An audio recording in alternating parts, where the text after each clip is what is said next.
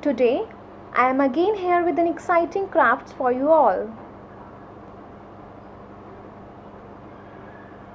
We will make a crab with paper circles. Shall we start? Then come on, follow me. Things required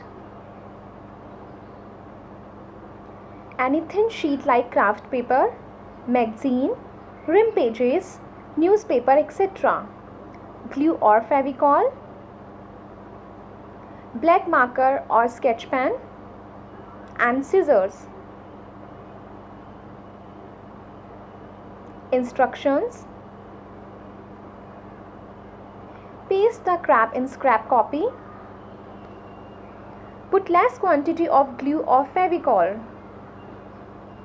Draw 4 small size of circles and big one.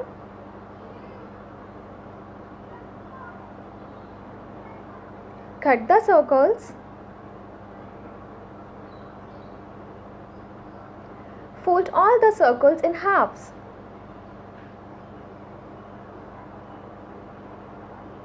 Paste big folded circle downside. Paste two two small circles in V shape on the upper side.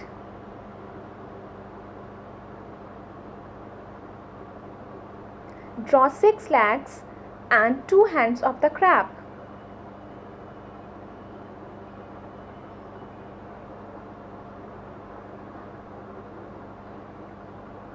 Oops! We forgot to make eyes.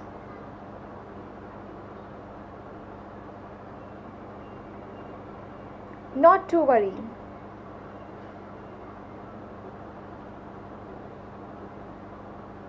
Cut two small white circles and draw one one black spots in both of them.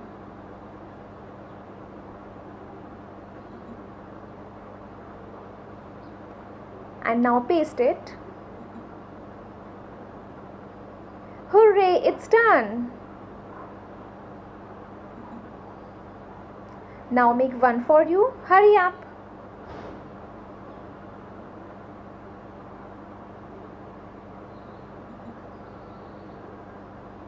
Okay, I will come back with some other exciting crafts. Bye-bye.